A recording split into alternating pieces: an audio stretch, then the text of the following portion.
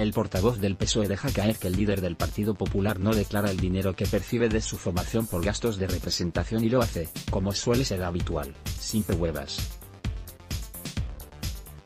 Como suele ser habitual en él, Pachi López ha vuelto a hablar a la ligera, y ha dejado caer una acusación bastante fuerte sobre Alberto Núñez Feijo, y el sueldo que recibe del Partido Popular por gastos de representación.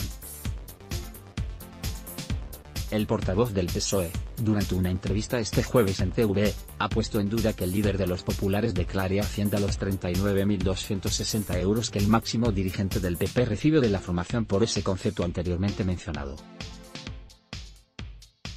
Se trata de una de las nuevas campañas contra Feijo de los socialistas. El denominado sobresueldo que le paga el PP además del que ya percibe por su puesto en el Senado. El PSOE se lleva las manos a la cabeza por esto cuando Pedro Sánchez recibió 48.000 euros adicionales en dietas del Congreso. Sin embargo, el reloj aprieta y la distancia en las encuestas se mantiene.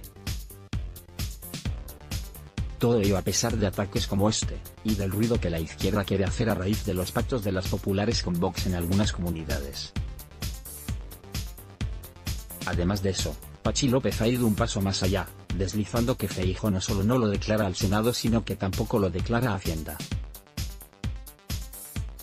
Una acusación que hace sin prueba alguna, simplemente para emponzoñar e intentar ensuciar la imagen de su máximo rival político, y principal peligro de cara a mantener la Moncloa. Eso de gastos de representación de alguien que no se paga ni la comida ni los viajes, es un sobresueldo. Por cierto, sobresueldo, sin declarar.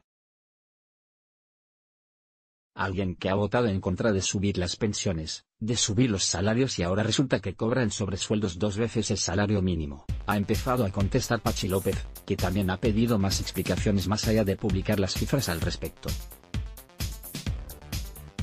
Silvia Inxao Rondo, que ayer se los vio con Santiago Abascal, le ha instado a aclarar la parte en la que habla de no declarar, preguntando si se estaba refiriendo al Senado, sin embargo, el portavoz socialista, añade esa acusación sin pruebas, en el Senado, y luego no sé si en su declaración de la renta.